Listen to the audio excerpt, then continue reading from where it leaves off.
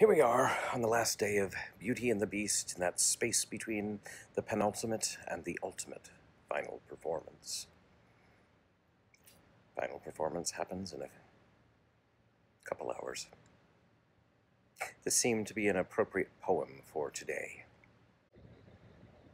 Short Farewells by William Matthews.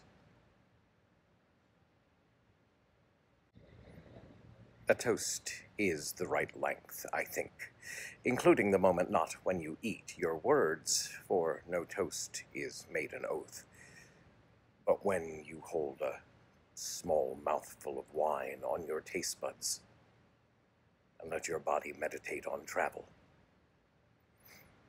the saddest of its pleasures. Somebody breaks the silence with a joke, and then it's done. It hurts to age and part. But it hurts worse not to. To turn blue with held breath. Rain falls on our scalps like the blunt end of pins. We wear our grief like an extra flesh. But it is only pain. Those lurid paths we blazed along, we fuses, they'll cross again if we should want. I'll drink to that.